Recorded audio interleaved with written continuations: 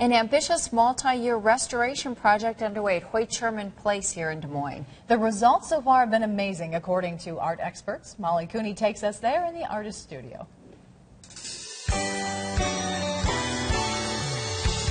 People know Hoyt Sherman Place for all the concerts and shows that are held here in the theater. But right next door is the city's first art gallery. And that art gallery is undergoing a multi-year restoration. We're here with Carol Pollock, who is the executive director of Hoyt Sherman. And this is a hidden gem. It really is a true treasure. Tell us how the collection came to be in the first place, Carol. When um, Hoyt Sherman died, his family went to the city and said, We don't need the house. You know, do you want to buy it? city bought the house. Um, they boarded up for three years because they really weren't sure what they wanted to do with it. And then in walked the Des Moines Women's Club that were gaining in prominence and in numbers. They needed a permanent home. So they asked the city if they could have Hoyt Sherman Place for that home. The city said yes for a dollar a year. And with the ca- ca- caveat, sorry, that they would build the first public art gallery. So th- that's how it, this came to be. And then over the years, I think that was in 1907, over the years, the women collected art.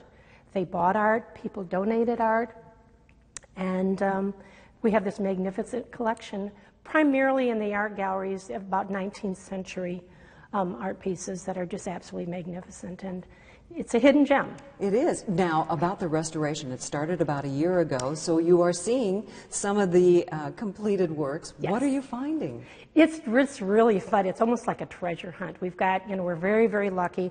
Barry Bauman out of um, Chicago, who does restorations for nonprofit organizations for the cost of the supplies only, which is saving us probably hundreds of thousands of dollars.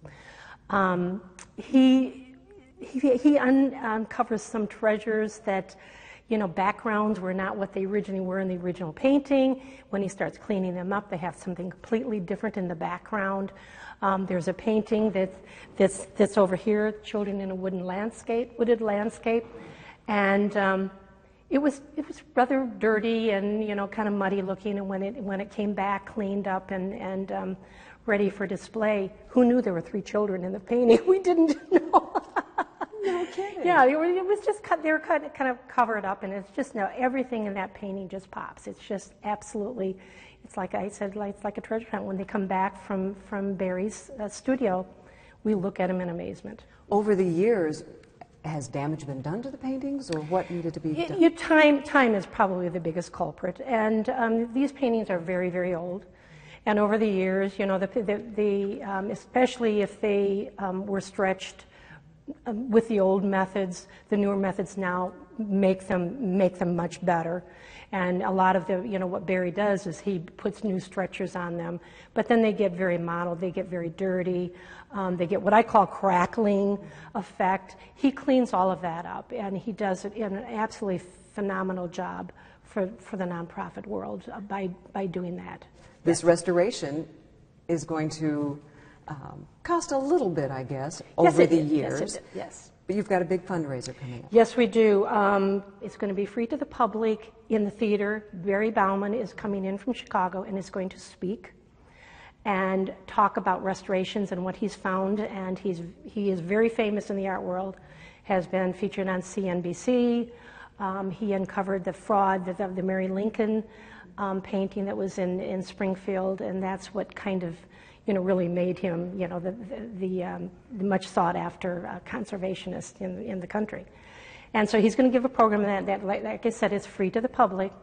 And then for a minor cost of uh, $20, which we'd like to call, cost, uh, call a donation, um, uh, 250 people will be able to come to the galleries after that, have um, some little libations, uh, meet Barry, and then we're going to uh, let them, you know, um, be able to adopt paintings. And we're hoping that we, you know, I would like to be able to adopt. There are 37 left that have to be adopted. If we are able to adopt out 15 or 20, that would be fabulous. And by adopt, what do you mean? They would actually be adopting a painting that would be theirs when it's re- not not to take home, not to take home. People say, "Oh, do I get to take this home?" I said, "Don't know." Um, they would um, be helping to offset the cost of the actual cost of, of repairing the frame and the canvas, and then plaques would be put on them with whatever kind of um, information they want, whether it's their name, whether they are doing this in, in honor of someone. And so that would be that, you know, their name would be prominently displayed, you know, next to the painting that they adopted. So they can come visit that. Yes, they can. All right, Yeah. Carol, thank you so much for You're giving entirely us welcome. a quick uh, preview of what's to come. We appreciate it. Thank you very much. For KCCI, I'm Mollie Cooney in the Artist Studio. The fundraiser for the Love of Art will be held at Hoyt Sherman Monday, November 4th at 7 p.m. The presentation by art restorer Barry Bauman is free. And as Carol mentioned, for $20, you can attend the reception following to meet Barry and perhaps adopt a painting. For more information, call 244-0507 or go to hoytsherman.org.